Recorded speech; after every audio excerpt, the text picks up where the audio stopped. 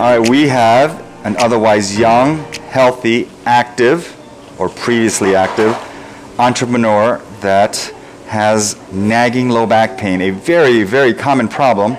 It's bad enough to make his daily activities kind of a chore. Uh, he barely finishes the day, and afterwards does not have much energy to go out and socialize, do sporting activities over the weekend, and this is a very typical patient that is told, when your pain's bad enough, come back and we'll do a fusion. That's a pretty big surgery with an extensive recovery, and most people don't like the F word because when a fusion does not go well, it could be uh, significant complications. So, this patient has an annular tear that we've confirmed is painful by a diagnostic anesthetic injection. Unfortunately, the pain came back. And if you look really closely, you can clearly see an annular tear there. So, most annular tears are asymptomatic, but not all of them. So, this person is one of the you know, small group of people whose annular tears are very painful. And for him, the incidence of a painful annular tear is 100%. So he's tried numerous other activities. I'm sorry, he's tried, he has tried numerous other non-operative treatments without improvement. We finally decided to treat this surgically via a laser endoscopic discectomy and annuloplasty. So we will use a small little stab incision in the endoscope, go in interlaminar, and just treat this annular tear and the idea is the following. Number one, remove the offending agent that keeps stimulating the outer nerve fibers because when you stand up, the nucleus pressurizes whatever trap fragments are in there. And then two, if there's any leakage at all, which there is, the body will perceive it as a foreign body and initiate a healing response, which almost always involves the inflammatory process. And for most people, that inflammatory process of healing goes through the normal process and then turns off. But for some people, that process perpetuates in a endless cycle, and you develop chronic, chronic inflammatory pain.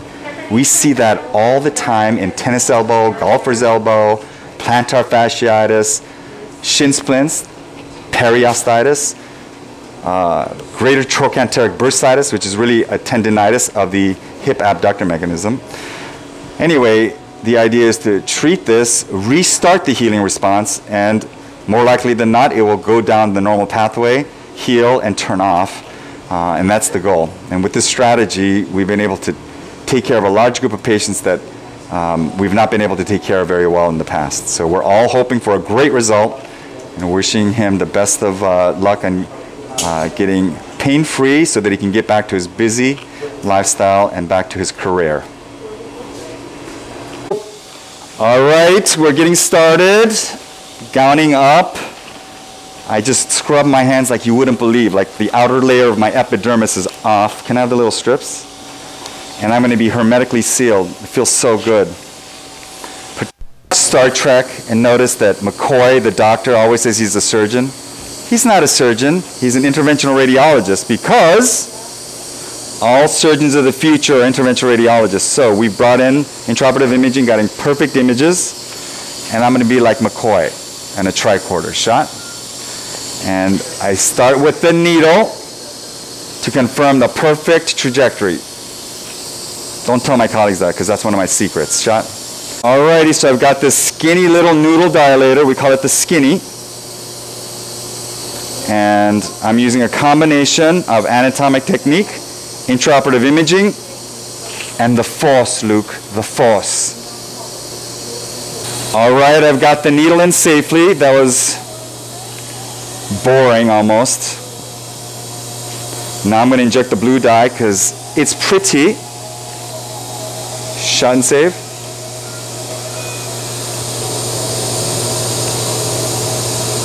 Shot and save. There it goes. It's going in. I'm waiting for it to leak out the back, shot and save. It already leaked out a little bit, shot and save. Shot and save. There it is. There's a shadow along the back posterior vertebral body line. And you have an annular tear in the front too. Shot and save. But the one in the back is a little bit bigger than on the MRI. It's bulging out. Shot and save. It's a big crescent line where the annular tear is, so I am pretty dang excited. Shot, mallet. So this is the boring part. I'm just making the opening bigger and bigger and bigger. I still probably couldn't fit my ballpoint pen down that corridor. Okay, I already feel the disc. And my guess is it's going to feel very incompetent. Oh my God, it's so incompetent, it just fell in. And then this is the lateral recess. That's a blood vessel. We're good. Laterally, that's the neural foramen right there. You can already see the busted up disc. But now I want to look toward the canal.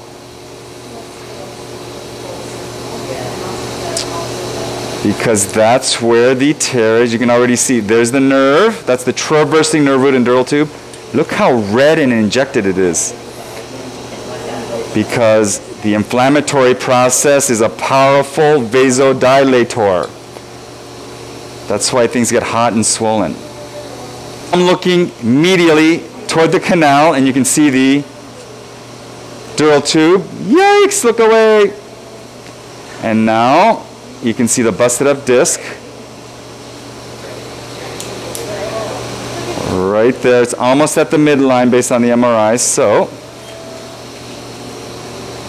I may have to do a little bit more work before I get there, but. Dr. What are you doing right there? All right, so I have the disc exposed and I'm groping it, if you will, and look how incompetent it is already. That should be like a really firm hockey puck, and you can tell there's going to be an empty defect right underneath there. That's where the annular tear is.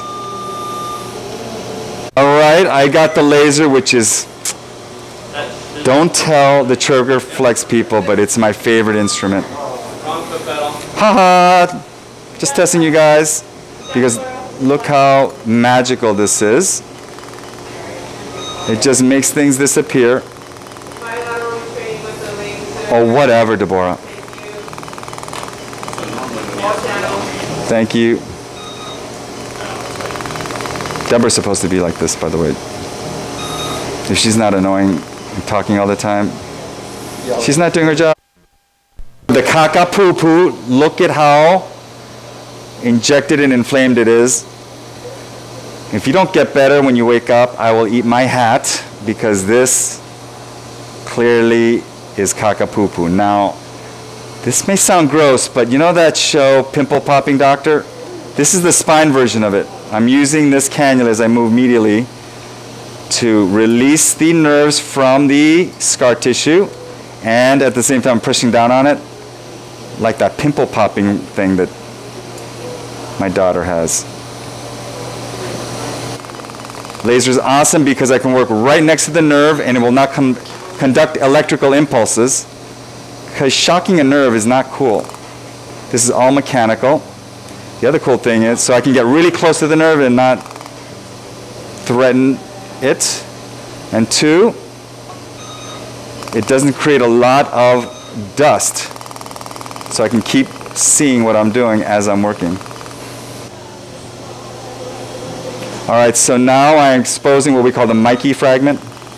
It's almost like a little poop that you see it coming out right there. Look at that. I know it's gross, but I'm waiting for somebody to tell me a better example. And then let's face it, people love saying the word kakapupu. Oh, yeah. And I can feel it. Like my teenage kid. not going to come out without a fight. Let's try to save these fragments because I like to pile them up and take a picture. Goes all the way to the annulus. And this is in the midline. The only way you can get there is that there's a tear from the center of the disc out to the periphery. It's not the entry point of the needle, so I'm feeling pretty confident that this is going to be an awesome, awesome thing for you. David, Okay, the last, oh, see that there's, it's like jello. There's always a little bit more it can give you. But I can tell that this whole area is empty. Because after a while, you get a really good sense of how it should feel. See all these little loose pieces? That should not be there. The annulus is one of the densest tissues in our body. And it is strong. Teenage son in here. Actually, my, my teenage son is not a teenager anymore and he's perfect, so I can't really say that anymore. But curly Q too, Terry. There's one more big piece right there. There it is. Look at that. Oh, I can't wait for you to wake up. Look at that. That's just one of many, many, many, many pieces. But this is the one that's way over. Looking laterally, there's the exiting nerve root and its associated neurovascular bundle. That's the disc annulus torn from the medial aspect of the facet joint. We call that the lateral recess, all the way to the midline underneath the dural tube. And you can appreciate how injected the dural tube is because of the inflammation. But you can also tell it's totally intact. I didn't injure it. And that's good because my mom always said spine surgery would be so much easier without blood vessels and nerves. And I'm just backing up. That's the ligamentum flavum. It's actually really yellow. That is looking good. And I keep hitting that silly white balance. All right, eh? all done. Alrighty, all done. We're taking out the endoscope. Look how small that is. It's got three channels. That's the cannula. It's basically the size of my pen and the surgery went beautifully. We're all rooting for you, and I fully expect you to get better, so best wishes. All right, my favorite part of the case, putting on the Band-Aid, and we get to go home. Well, not me, but you do. So, best wishes for a speedy recovery.